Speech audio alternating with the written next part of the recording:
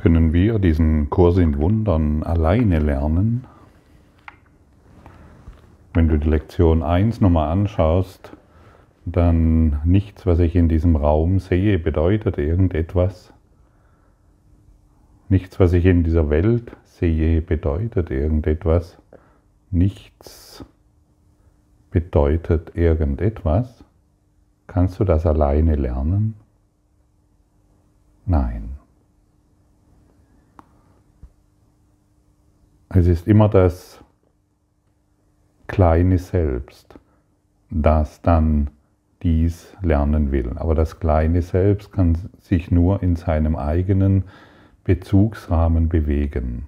Es kann nicht über den Bezugsrahmen hinaus, denn das würde bedeuten, dass es seine eigene Existenz aufgibt.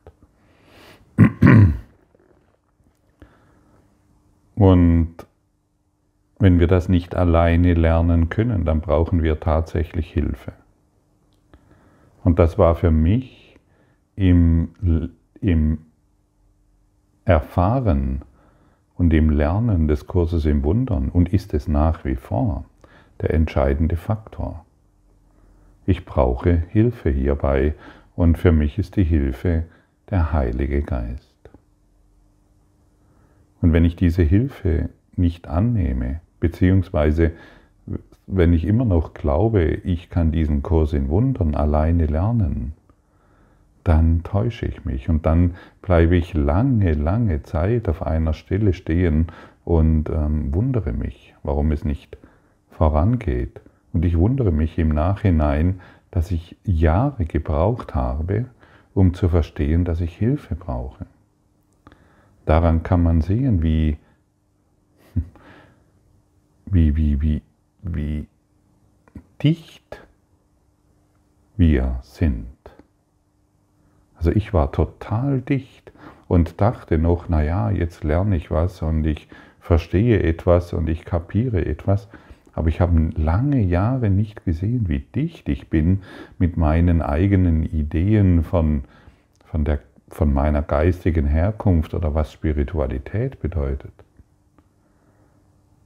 Und dieses Hilfe annehmen, hey, ich kann das hier nicht alleine lernen, denn ich weiß nicht, was es bedeutet. Ich habe keine Ahnung, was meine Gedanken bedeuten. Ich habe keine Ahnung, was, was diese Lektion Nummer eins bedeutet. Und das müssen wir einsehen. Und dann kann ein Lernen stattfinden. Das ist so wie ein, ein Schüler in die erste Klasse kommt und der weiß wenigstens, hey, in der Regel wissen wir es, da gibt es noch etwas zu lernen. Und wir sind dann, sind wir begierig darauf, jeden Tag etwas Neues zu erfahren. Ah ja, wow, eins und eins gibt zwei.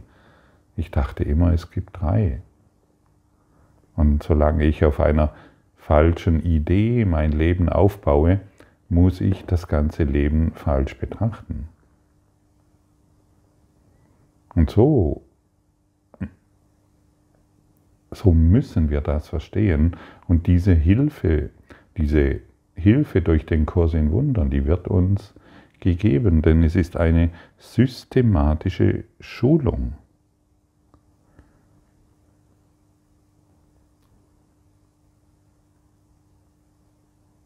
Und jede Lektion baut auf die andere Lektion auf. Und heute sind wir bei der Lektion 169. Durch Gnade lebe ich, durch Gnade werde ich befreit. Und vielleicht denkst du jetzt, naja, das hätten wir ja auch können gleich als Lektion Nummer 1 nehmen, ist aber nicht so. Heute, wenn wir heute diese Lektion beginnen zu lernen, dann geht das viel, viel tiefer als vor 169 Tagen. Und ich bin heute bereit, diese Lektion auf einer tieferen Ebene zu verstehen, wie noch vor einem Jahr oder wie vor 20 Jahren. Denn so lange, denn so lange bin ich schon an diesem Kurs in Wundern dran. Ich wundere mich, dass dies so ist, denn in der Regel ist dies das Beständigste, was ich tue. In allem anderen, auf der weltlichen Ebene bin ich nicht so beständig, obwohl sich das jetzt auch verändert. Aber früher war ich sehr sprunghaft in verschiedenen Dingen. Wenn mich etwas gelangweilt hat oder wenn ich etwas lange getan habe, hat es mich gelangweilt. Aber da, und ich bin ein sehr, wie soll ich sagen, wissbegieriger Mensch. Ich möchte den Dingen wirklich auf den Grund gehen und in diesem Kurs in Wundern scheint es kein Ende zu geben, sondern ich bin immer wieder am Anfang, so wie du. Und wenn wir der Kleinheit erlauben, wenn wir dem Ichlein erlauben, diesen Kurs in Wundern lernen zu wollen, dann, wie gesagt, dann halten wir uns in unserem eigenen Bezugsrahmen auf, der natürlich aufgelöst werden will. Und das macht eben der Heilige Geist, dein hohes geistiges Selbst. Ist, er bringt dich deinem Spirit, deiner wahren Quelle näher. Denn er ist dein Lehrer. Ah ja, okay, da ist ein Lehrer. Jesus hatte auch diesen Lehrer und auch er musste durch diese Dinge hindurchgehen, durch die du hindurchgehst. Und sein Lernen ist heute dein Verstehen. Alles, was wir lernen, ist für die ganze Welt. Es ist nicht nur für dich alleine. Das Ichlein, das Ego sagt uns, naja, jetzt haben wir, habe ich kapiert, dass 1 und 1 2 ist. Ah, wow, ich weiß etwas Besonderes, das kann ich in dieser Welt nutzen. Und dann kommt noch dieses und jenes Lernen hinzu und dann werde ich ein, ein, ein, ein Wissender. Ich werde ein Philosoph, ich werde ein Prediger oder sonst etwas. Oder ich werde ein Quantenphysiker oder eben habe die Einbildung, dass ich gar nichts werden will. Das spielt keine Rolle. Aber das, was wir hier im Kurs lernen, das steht für die ganze Welt zur Verfügung. Wie gesagt, so hat es Jesus für uns getan. Er hat diesen, er hat den Heiligen Geist als Lehrer gehabt, die irdischen Lehrer, denen, von denen konnte er nichts mehr lernen, von den Predigern konnte er nichts mehr lernen, von den Kirchen und von den Tempelvätern konnte er nichts mehr lernen und er ging einfach diesen Schritt weiter. Die Welt hatte ihm nichts mehr zu bieten. Und an welchem Punkt bist du jetzt? Der Kurs im Wundern ist diesbezüglich einzigartig. Das ist, du, du, du kannst dir wirklich vorstellen, hey, hier ist etwas, was nicht von einem denkenden Geist geschrieben wurde, der in seinem eigenen Bezugsrahmen festhängt. Hier wird mir etwas angeboten, was außerhalb meines Bezugsrahmens zu mir kommt.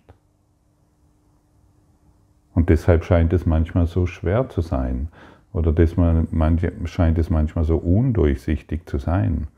Und dennoch hat es seine Wirkung. Jede Lektion, die du bereit bist zu tun, hat seine Wirkung. Und wir brauchen die angebotenen Lektionen nicht einmal zu glauben. Im Kurs wird uns sogar gesagt, in, in der Einführung, wir werden vielleicht sogar aktiv Widerstand leisten. Und dennoch durch die Anwendung wirkt es in deinem Unterbewusstsein.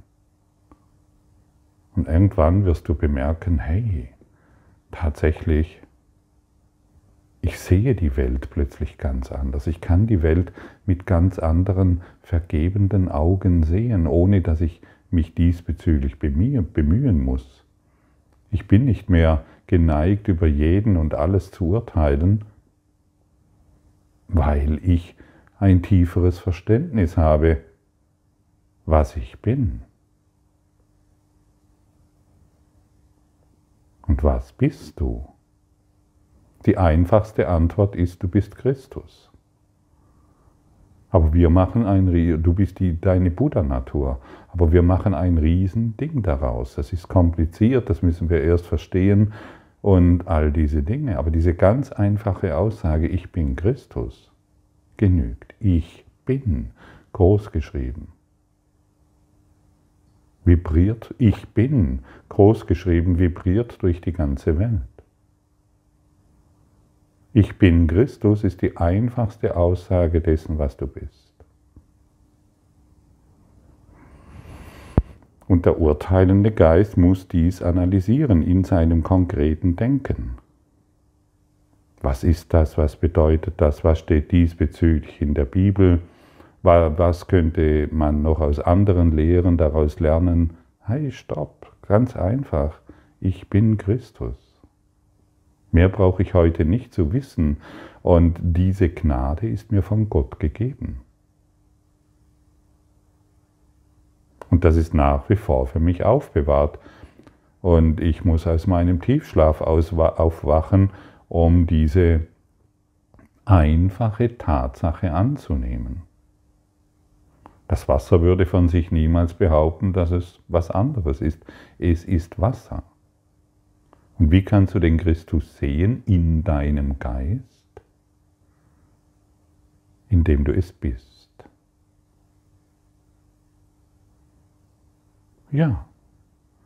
Denn solange wir glauben, hey, ich bin ein Körper, ich bin ein Mensch, werde ich lauter Körper und Menschen sehen und Formen und Bäume und Flüsse und Vögel und Tiere und all diese Dinge und ich werde mich auf die Form beziehen, die Trennung ist und werde mich als getrennt erfahren. Ich bin ein Körper und sehe lauter Körperformen mit Körpergedanken, die getrennt von mir sind. Ganz einfach, ganz simpel. Und das ist natürlich Tiefschlaf. Zu glauben, ich bin ein Körper, ist Tiefschlaf. Und mich wieder erinnern zu wollen, ich bin Christus, eins in Gott. Das sind Gedanken, die mich erwecken, die mich sanft aus meinem Schlaf herausführen und die mir aufzeigen, dass mir die Gnade Gottes jetzt gegeben. Diese Gnade Gottes ist mir jetzt gegeben. Das ist so simpel und so einfach, aber wenn ich mir jeden Tag erzähle, ich bin ein, ein Ichlein, mit, einem, äh, mit diesen Fehlern. Natürlich hat das Ichlein ständige Fehler. Ich bin ein Körper mit diesem Mangel. Natürlich hat jeder Körper irgendeinen Mangel. Dann bin ich so sehr in meiner Matrix der Hoffnungslosigkeit verloren, dass ich natürlich Hilfe benötige. Und diese Hilfe wurde uns gereicht durch den Kurs in Wundern. Und der Kurs im Wundern bezieht sich tatsächlich nicht auf die Bibel, denn Jesus hat erkannt, dass ihm diese Kirchenväter, diese Tempelanbeter, dass ihm die nichts mehr bringen. Er ist einen Schritt weiter gegangen, deshalb wurde er ja ans Kreuz genagelt.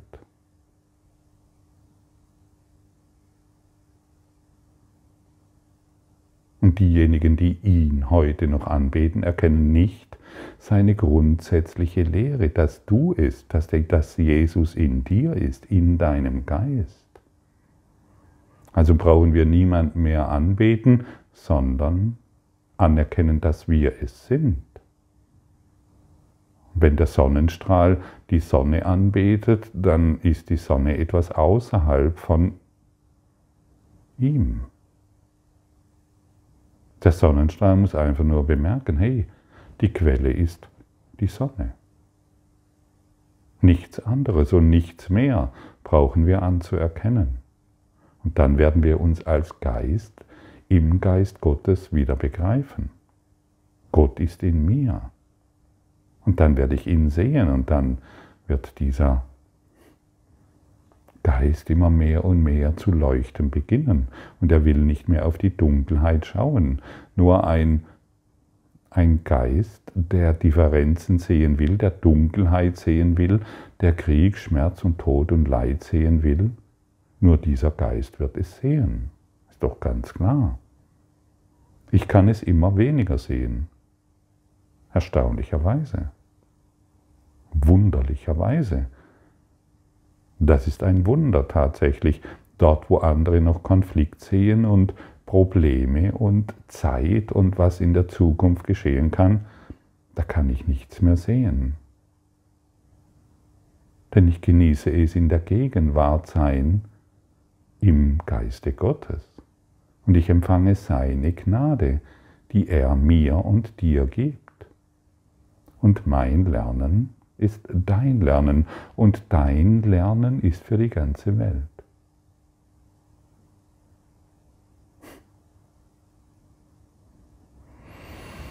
Und deshalb zusammen lernen und heilen, zusammen heilen und leuchten.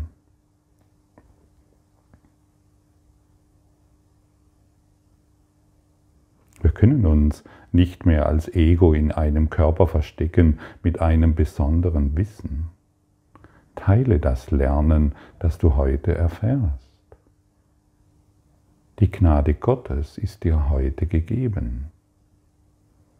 Was passiert, wenn du jemanden im Schmerzen, im Leiden und in seinen eigenen Sorgen siehst? Hey, die Gnade Gottes ist dir gegeben.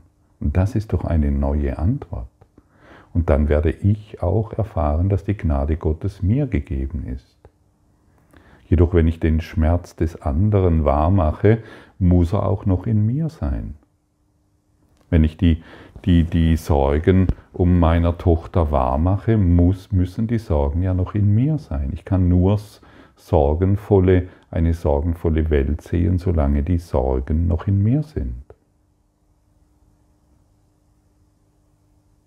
Kann nur Schmerzen in der Welt sehen und erfahren, solange dies noch in mir ist. Und den Tod und die Krankheit genauso. Ich kann nur Krankheit sehen, solange noch in meinem Geist ist.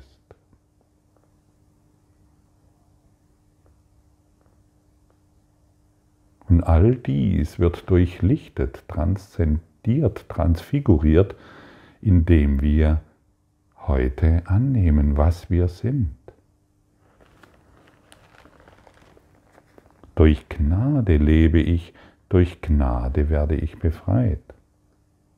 Wir könnten auch genauso sagen, durch Liebe lebe ich, durch Liebe werde ich befreit, durch Licht lebe ich, durch Licht werde ich befreit.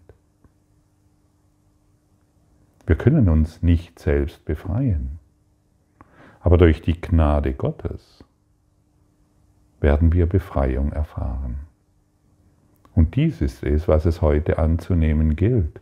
Und dies ist es, was es heute zu erfahren und zu geben gilt. Denn das, was ich gebe, werde ich empfangen. Und zu jedem Problem, das ich heute, zu dem ich heute geführt werde, im Heilsplan des Himmels, kann ich einfach folgendermaßen antworten, hey, durch Gnade lebe ich und durch Gnade werde ich von dieser Situation befreit und geheilt. Und nicht indem ich mir wieder dieselbe Geschichte erzähle, wie ich sie zum Beispiel auch ja viele Jahre gemacht habe, fast mein ganzes Leben gemacht habe, indem ich mir immer wieder gesagt habe, oh, dieses Problem, das wird ewig bei mir bleiben, mit dem gehe ich sogar noch ins Grab und so weiter. Solche Geschichten habe ich mir erzählt und heute gebe ich auf diese Dinge, die in mein Leben kommen. Und sie kommen nur deshalb in mein Leben, weil sie geheilt werden wollen, denn nur deshalb bin ich hier, um Heilung zu erfahren. Ich gebe einfach diese Antwort, diese Lektion, die mir heute angeboten wird. Gib der Welt eine andere Antwort durch die Lektionen, durch die täglichen Lektionen. Und dann wirst du das, dann, wirst, dann werden wir verstehen, wie, wie dieser Kurs in Wundern wirklich funktioniert. Wir können ihn analysieren, wir können jedes Wort gegeneinander abwägen, wir können zu, zu, zu, wir können zu Kurswissenden werden, aber das Geheimnis ist, den Kurs zu praktizieren. Und dann wirst du sehen, wie er wirklich auf auf so wunderbare, sanfte Art und Weise funktioniert, dass ich diesbezüglich gar keine Worte habe.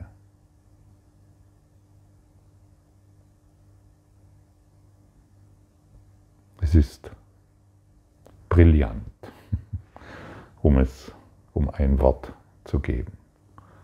Übe dich heute in dieser Brillanz, in deinem Strahlen, in deinem Licht. Und du wirst es empfangen. Was du lehrst, willst du erfahren. Hörst du das? Was du lehrst, willst du erfahren. Und deshalb noch eine weitere Frage. Was möchtest du heute erfahren?